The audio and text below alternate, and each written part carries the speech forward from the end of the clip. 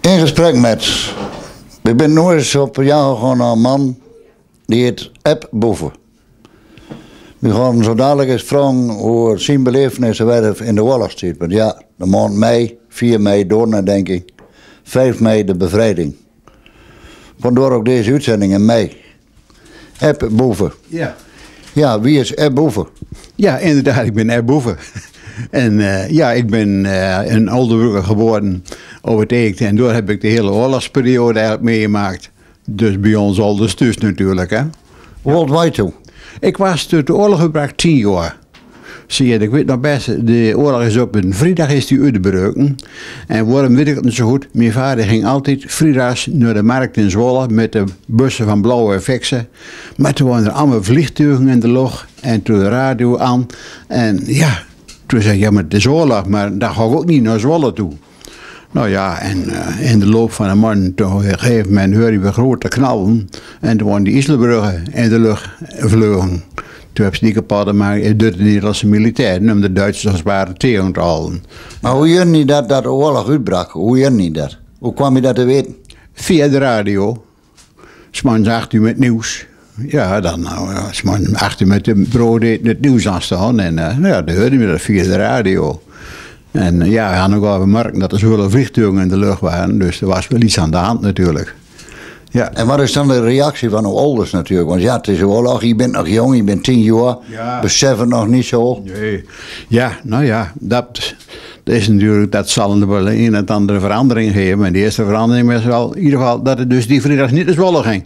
De hemels bij buurs bleven. Ja, ja. En dan breekt de oorlog die aan. Wat, wat van gevoelens hij dan op zo'n eh, jonge leeftijd? Nou, voor je jonge leeftijd eigenlijk nog niet zo barre voelen. Ach, in de eerste paar jaar merk je er ook nog niet zo voelen van. Je zagen wel eens een keer wat Duitsers reden. Maar zo geleidelijk aan worden de touwtjes een beetje aangeknupt. En dat is te zeggen ook vooral voor de boeren. Die moesten, als bijvoorbeeld wilden gaan darsen, die moesten eerst toestemming vragen aan de plaatselijke bureauhouder. Want op die dag van darsen, dan moest er een controleur bij komen om alle zakken zout te tellen. Want dat moest je allemaal keurig inleveren. En zelf mocht je wat hol, maar niet zo barre voelen. Maar je moet geluk hebben dat je een goede controleur had. Dan moest je nog eens vaak een plasje gaan doen achter de heuberg. En dan stikken hem eventjes eh, een paar zakken achterover drukken. Wat deed je toen in die tijd zelf dan? Deed je altijd thuis of... of, eh, Nee, toen ging ik naar school toe natuurlijk. Hè. Ja, maar je weer kwam van school. Oh, dan moest je helpen. Helpen met eh, voeren en melken en al dat soort dingen nog meer. Ja, nee, je moest wel aan het werk ook al tien jaar. Ja. Ja, maar er gebeurde van alles natuurlijk, hè? Oh ja, zeker, zeker, zeker. En nou ja, en na een paar jaar, toen, ja, toen kwam er wat meer reurige en zo weer. hè. Dan begonnen de onderdukkers te komen. En bij ons op Teek had elke boer, die had wel een knecht. Maar dat was dan een onderdukker natuurlijk. En ja, die hielp dan ook wel gewoon wat mee. Ja, En kreeg de Duitsers ook op verzitten van... eh oh, oh, onrarie? Nou ja, daar heb ik wel eens een keer wat huiszoeking gehaald. En ja, vooral op les dan, dus met die uh, razzia's, dan kun je het ook wel mee te maken. Maar ja, ik ken ook wel van die huiszoekings, dat ze gegeven met paarden wilden worden of zo. En ja, ik weet nog best dat we een hele mooie merrie aan staan. En dat mijn vader een beetje weggestopt achter de stroopballen. En toen een Duitser zei, oh, een schöne Pferd. Ja, zei mijn vader, ik kan niet varen, want die is hoogzwanger. Oh ja, nee, dan, dan wilden ze hem toch maar niet meenemen. Nee. Maar ze namen zijn roodspul mee. En, Ah, jullie het allemaal, of Rieke, kon je rennen? nou ja, we konden ons wel redden, zeker wel, zeker wel. Maar het was natuurlijk wel zo, ja, de levensomstandigheden waren heel wat anders dan vandaag en dag. Zeker. En ja, het was toch heel anders allemaal. En vooral in die tijd van die, eh, nou ja, dat begon in 42, 43 begon dat, begon die trekkers te komen. En die, eh, die mensen van het westen die eten moesten halen. En nou ja, dan heel veel avonds, je dus een heleboel van die trekkers die overnachten bij ons. En eh, ja, dat was altijd eh, wat verandering eigenlijk. En ja, het is op zekere avond hadden ze een keer eh 15. Nou ja, we hadden natuurlijk ook niet zoveel bij en op de hilde was ook niet zo groot. Nou, ik laat de heu op de delen gooien en eh, ja, dan gingen ze maar liggen. Ja, ze waren blij dat ze onder de dak waren. En als ze een keer een bord pap kregen natuurlijk, dat was ook al wat.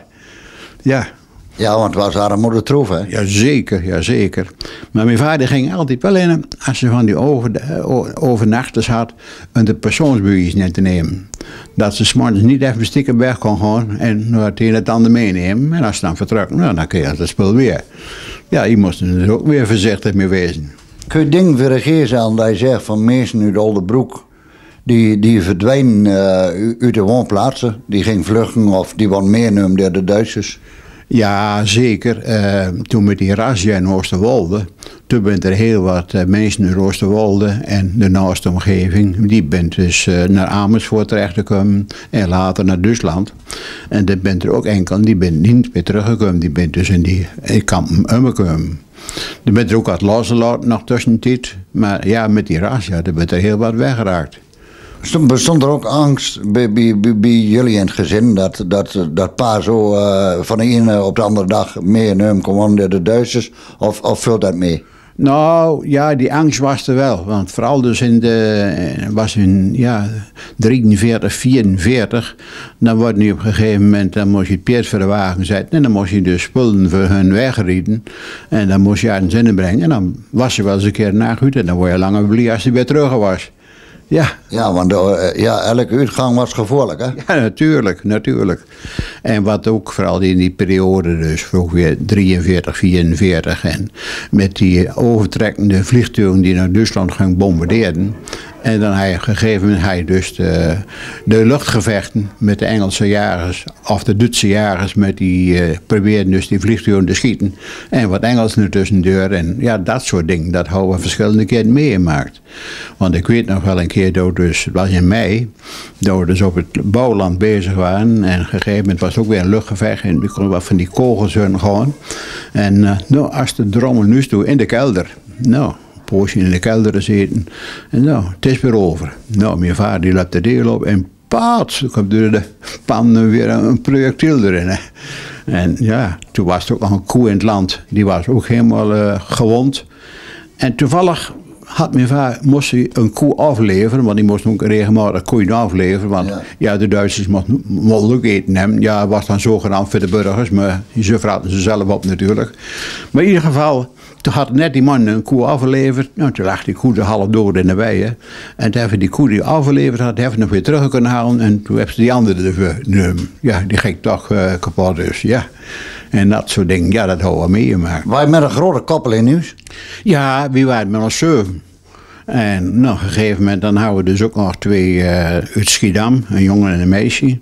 En op een gegeven moment nog wat later, toen kwam mijn oma nog erbij wonen. Dus we waren met een hele koppel, ja. ja. Ja, hoe wandige films wel onder elkaar, hè, zeker in oorlogstijd. Oh, dat was heel gezellig eigenlijk wel. En ook met die onderdukkers, dat was ook altijd heel leuk. Die, al die onderdukkers, heel een aantal, nou, die kwamen dus eh, meestal zondagsavond allemaal bij ons en op de heerd. En dan waren er zangbetargel of er waren voordrachten gedaan en dat soort dingen. Ja, het gaat ook een bepaalde gezelligheid nog wel weer. Ja, dat altijd in de angst en kommer. Ik hoor wel eens vaker zeggen, eh, in de oorlogstijd zaten de karken altijd vol. Nou, dat inderdaad, dat zal wel zo wezen, ja. Ja, dat heb ik ook wel niet zo bewust meegemaakt, want toen zaten ze inderdaad wel, wel redelijk vol. En vooral met de bevrijding. Hè. De eerste dienst naar de bevrijding was, helemaal natuurlijk. Helemaal vol. Ja, Ja, dat is eigenlijk- onvoorstelbaar, hè? ja zeker, zeker. Maar ja, dan, dan kun je ook weer een, stukje van de hele gemeenschap, dan, dan met elkaar, eh, dan eh, naar zo'n herdenkingdienst dus toe. En dat geeft toch wel wat. Zeker, ja. De koninginnentijd, want ja, de koningin die ging ons verlaten, eh Beatrix. Maar toen de tijd, eh, ah, je koninginnedag of, of van het maar zo allemaal eh afgeschaft. Nou, in de oorlog was het niet meer eh, van, van zin. Dan mocht je zelfs geen oranje dragen, want dat was helemaal verboden. Want eh, ja, de verjaardag van Wilhelmina, dus op 31 augustus. Ja, voor jezelf dacht je er wel aan, maar je mocht er geen, geen uiting aan geven. Dat was helemaal verboden. Ja, Zo langzaam maar zeker kwam toch het einde in zich ook van de oorlog. En, en dan, eh, ja, dan ben je nog, eh, op dat moment ben je 13, 14 jaar, denk ik. ja, ja. Ja, en hoe beleef je dat dan? Nou, dat, uh, met het bevrijding, toen was ik dan 15 jaar en dan maak je daar wat bewuster mee eigenlijk, hè? zeker. En ja, ik weet nog wel bij staat, dus uh, gegeven dag, dat was dus zoveel als volgende week, dat de eerste Canadese tank kwam. En dan ging u zo gauw mogelijk naar Oldenbroek toe, naar Darp, want dat moest je toch zien. He, want ja, die denk die kwam niet over Tekering natuurlijk. Hè. En, en, ja, dat was toch een hele belevenis. En vooral als je nog eens een keer een reep in kwart uitdeelde, dat was ook geweldig. ja. ja, en dan, dan ben je blij met alles wat je kreeg natuurlijk. Tuurlijk, tuurlijk. Ja, en in de oorlog word je niet zoveel uh, verwend. Want ik weet ook wel dat ze dus dan van die blikken hadden met van die uh, eierpoeier. Nou, daar kon je de machtige mooie eiers van bakken. En dat smaakt ook machtig goed. ja, ja. Hey, ook mensen uh, die, die bio kwam elke dag, bekende mensen uit Oldebroek? Ja, zeker. Ik had, was altijd een vastigheid die dus regelmatig wel liter in melk kwam halen. Onder andere Hendrik Boeven, die ook voor, voor het verzet gedaan heeft. Die kwam ook meestal elke om de twee dagen iets melk ophalen en ook wel andere mensen meer. Maar ja, ik mocht ook weer niet te veel afleveren aan melk, want ja, ik moest naar aan de fabriek afleveren. En ja, dat mocht officieel, mocht dat natuurlijk niet. Ja, maar het stiekem wel natuurlijk. En moest je dan uh, naar de oude melkfabriek in Kamp van heel of? Nee, die melk die ging naar Kampen en dus toe. En uh, ja, wat dan ook zo mooi was, in de oorlog mocht je ook niet kan. Maar elke boer had maar zo'n kannenstaf. Maar we hadden nog wel een, eh, een officiële karne.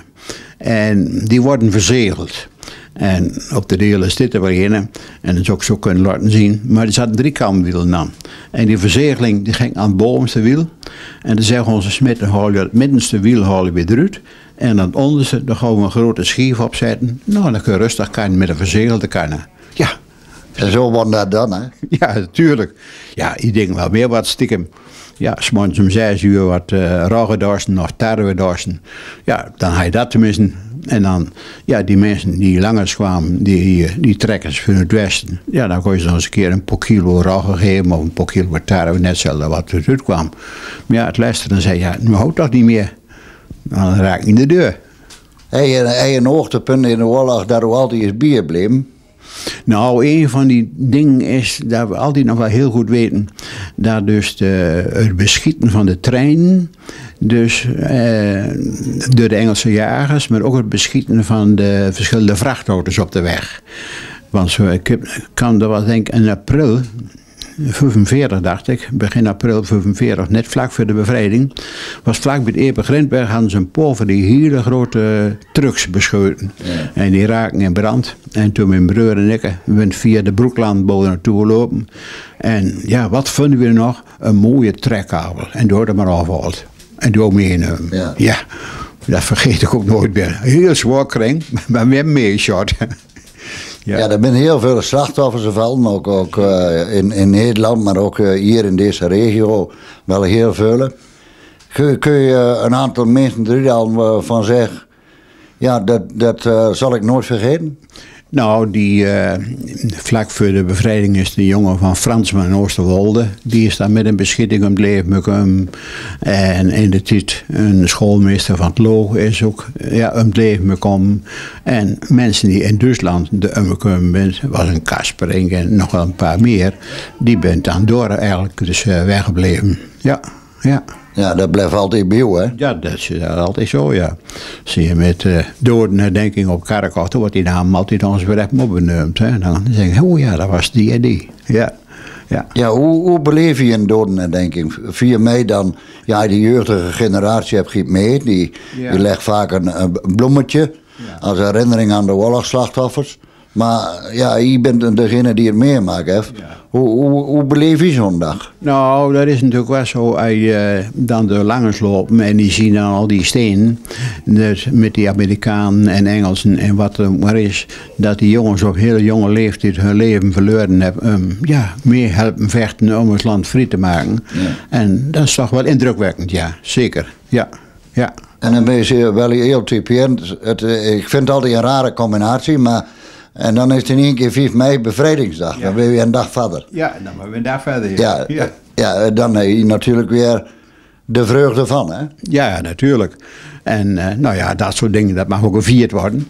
ingepastheid, ingepastheid eh, zeker. En daar moet je wel aandacht aan besteden. Ja. Ja, ik vind het altijd wel bijzonder, want ik heb het vaker gezegd, 4 mei, dag later hij 5 mei. Dan uh, doornadenking, dag later 5 mei. Ja. Bevrijding. Ja, ja, zeker. Dat is heel apart. Ja, zeker. Dat is zeker apart. Maar het, is, ja, het hoort bij elkaar. hè. Ja, het hoort bij elkaar. hè. Ja. Ja, je hebt de oorlog uh, doorstaan. En dan, nu in het hedendaagse heb je ook heel veel geruchten van de oorlogen. Er is een oorlog in de, in de hele wereld. Denk je dan weer eens heel snel terug aan die tijd? Nou, onwillekeurig. Eh, gegeven moment dan is weer bepaalde films zien op de televisie en zo. Denk ik, ja, ja, daar houdt toch ook wel meer wat van meegemaakt. Dan, dan komt toch wel iets bewuster eigenlijk weer even over. Dan we er weer wat naar boven toe, zeker. Ja. En ook ja, met die eh, onderdukkers, ja, dat die jongens allemaal, eh, ja, voor plaats van de arbeidsdienst, dat ze dus gingen onderdukken. Nou, en dan eh, was het namelijk zo, mijn vader had in de tijd met mijn broer samen, hadden ze onder de Heuberg een groot hol gemaakt. En daar kreupen ze s'avonds in, want ja, overdag dan, als de razzia's kwamen, dan, dan hoorde je dat wel, of je kreeg er bericht van. Ja. Dus dan zorgden ze wel dat ze weg waren, maar s'nachts, dan ja, wist je dat niet. Maar dan sliepen ze s'nachts in het hol. Ach, en dan, dan zaten ze met een man of zaten ze in het hol, lagen ze te slapen. Maar op een gegeven moment was het zo dat een van de buurten zegt, nou, ze maakt samen wel minder lawaai maken, maar je had ze op de weg horen kunnen. Zo'n schrik hadden ze met elkaar uit. ja. En, en, en waar kwam die onderdukkers vandaan? Nou, we hadden er zelf een, die kwam uit Barneveld. En er kwam er een uit Zeist en een uit Utrecht. En nog een uit Voorthuizen. Ja. Wa- Waren dat mensen met een Joodse achtergrond? Nee, nee, nee. Nee, waar zuiver dus voor de arbeidsdienst en of de werkstelling in Duitsland. Nee, van, eh, wij hebben dus bij ons in de buurt geen eh, directe Joden gehad. Ja, elders wel natuurlijk, maar er zat bij ons in de buurt was allemaal gewoon onderdukkers die dus, ja, voor het werk weg moesten naar Duitsland en dat wegen. Ja. We hadden ook Nederlanders die gingen onder een andere formatievat rekenen, een naam NSB. Ja. Hoe, hoe, wat bent u, hoe was bij jullie thuis door de gedachten over? Nou, niet zo best. Dat zijn echt smerige landverhouders. En vooral die landwachters die dus, eh, nou ja, nou op een gegeven moment meenden dat ze heel wat waren. Met van die leersen aan en een pakje aan, dat ze er heel wat waren. Maar het was niks. Nee, die, die ging een eigen, eh, ja, eigen buurman eigenlijk aan het neerzetten, maar het niet kon. Hè? Precies, precies. En eh, ja, die wilden, wilden er gewoon wat beter van worden. En ja, dat waren ook vaak weer mensen ja, die dan toch weer niet zo erg eh, in tel waren. En dan, nou, dan waren ze wat, dan waren ze wat. Ja. Zonder wat bier zitten hem die daar uit, uit het noorden dan hebt of, of uit wil. Nou, ik denk er van beide wel. Er zijn wel inderdaad die dus, ja, toch, ja, vanwege gebrek dat ze dachten, nou, er zit wat voor ons wat in. Maar er waren ook al die dus overtuigd waren dat ze dus eh, de Duitsers helpen moesten. Ja, daar was wel verschil in natuurlijk. Maar datzelfde je ook bij de Duitse soldaten, die kon ze ook wat treffen, die eigenlijk ook liever niet wilden. Maar ze moesten, ze moesten. Ja, die deuren vaker de ogen dicht als ze iets niet door de burger kon, dan zeggen ze, ach, doe maar. Precies. En dat waren ja, toch wel de, de plezieren snel. Het waren Duitsers, maar ja, daar kan dan toch eens een keer goed mee overweg eigenlijk. Ja, zeker. Je hebt de oorlog meegemaakt. Eh, de oorlog is voorbij. Hoe, hoe is, eh, wat is er boven van een mannenman? Wat ben ik van mannen worden? ja, dat is een moeilijke vraag. Wat ben ik van mannen worden? Ja, ja. Wat, wat heb je eh, na de oorlog? Je Oh, ben je gaan ja. werken? eh, Ja, nee. Ik ben dus na de oorlog ben ik dus via de lagere landbouwschool, middelbare landbouwschool, cursuswerk, ben ik dus eh, bij het ministerie van Landbouw gekomen. Oh, ja. En daar heb ik een functie gehad in Gelderland en in de Flevopolders. En daar heb ik met plezier altijd gewerkt. Maar ik ben ook met plezier in de tijd teruggegaan. En hoe was je toen? Ik terugging, toen was ik 60. Ja, mooi jongen, hè? Jazeker. Wie noem van gelegen. Ja, ik ben door 23 jaar zo wat buurs ben. Ik snap niet wat het in de blijven is. Zeker. En, en wat doe je nu in een vrije tijd? In mijn vrije tijd, nou in het begin heb ik eh, nog wel eens wat naar Oost-Duitsland geweest. Daar heb ik nog wat, wat advieswerk gedaan. Maar daar ben ik al erg gauw mee. Ook over de oorlog? Nee, nee, nee, nee, over bij landbouwbedrijven. Bij landbouwbedrijven. En daar waren dus van die hele grote kolgozen, dat noemen. En ja, dat liep allemaal niet zo goed. En daar heb ik al wat advieswerk gedaan. Maar daar ben ik al wat gauw mee gestopt. Nou, verder, ja, dan heb ik het dus uh, aan kerken wat in het andere gedaan. En dan heb ik dus uh, autokundige vereniging de Broekland. Ben ik ook een aantal jaren voorzitter van de West. Maar ja, daar ben ik van enkele jaren terug op ingestapt. We zo wat jongeren wat doen. Ja. En hier op de boerderijen doe ik, heb ik ook heel veel altijd gedaan aan rondleiding, dia-presentaties en dat soort zaken. En nou, op die manier dan verveel je helemaal niet. Zie je en dan ook voor de Broekland regelmatig een artikel schrijven voor, de, voor het blad. Ja, je zit niet stellen. Nee, ik zit in niet stellen. En dan uh, hou de loco nog als uh, dialectgroep. En dat is ook één keer in de zes weken, zeven weken. Daardoor is weer een poosje moeten bij de loco wezen. Ja. Ja, ik dan heel snel rekening vertellen zo aan het begin van 10 jaar dat je oorlog meemaken bij nu 83 jaar 2013. Ja, dat volgende week hoop ik dat worden, inderdaad. Ja, ja. Snel rekenen. Ja, dat is heel goed gerekend. Ja. En hij nog wensen uh, hebben op papier, ondanks uw leeftijd? Nou, eigenlijk niet. Ik hoop dat ik de, de gezondheid zo mag houden. Want van mijn vrouw is het nog wat minder, dus die moet ook wat meer helpen. En vandoor dat ik wat meer tussen moet wezen. En dan zou ik zo geleidelijk aan, schiet ik wat, of laat ik wat dingen schieten. En dan laat ik wat dingen varen en mijn handen maar eens weer oppakken. Je hebt ook kindertjes? Jazeker, ik heb drie zoons.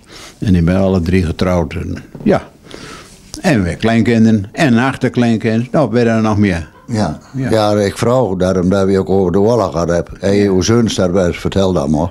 Eh, ja, dat, zo af en toe dan komt dat weer te sprake en dan, uh, oh ja, hoe was dat dan? Nou ja, dan, dan kun je het een en het ander weer vertellen natuurlijk, ja.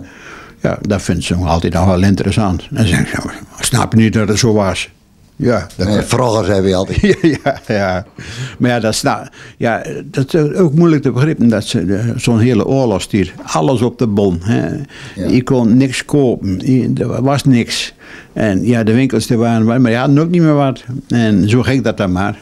En uh, ja, dat was allemaal niet zo makkelijk. En dat is moeilijk uh, om dat, ja, te, voor hun te begrijpen eigenlijk. Te zeggen, oh ja, het zou wel zo wezen. Maar ja, maar het was wel zo. Ja, ja. ja zo werkt dat, hè? Ja, zeker. Hey, bedankt. Het was hartstikke leuk even, even met uh, naar de oorlogperiode, ook natuurlijk even naar de toekomst. Ja. Zo hebben we toch uh, iets van, uh, van boven, maar ook van de oorlog in alle broeken een kunnen weten. Want ja, ja. er ligt een groot boek hier, er staat hele grote verhaal. Ja, zeker. En dan zitten we volgende week hier nog. Ja. Bedankt voor uw uh, gastvrijheid. Ja, we hebben in de titel nog ook uh, als vereniging dat boek te geven, Oldenbroek in oorlogstijd. Nou, dat was uh, een bestseller gewoon. En ja, het is nergens met te krijgen, want we zijn totaal uitverkocht. En om nieuwe druk weer te maken, dat, is, dat lukt weer niet, want dat wordt weer veel te duur. Maar af en toe in de tweedehands boekhandel is als een keer te kopen. Dan uh, kunnen ze er als een keer een kopen. Maar dat was, ja, dat staat echt hele mooie verhalen. Ja, mooie verhalen, echte verhalen.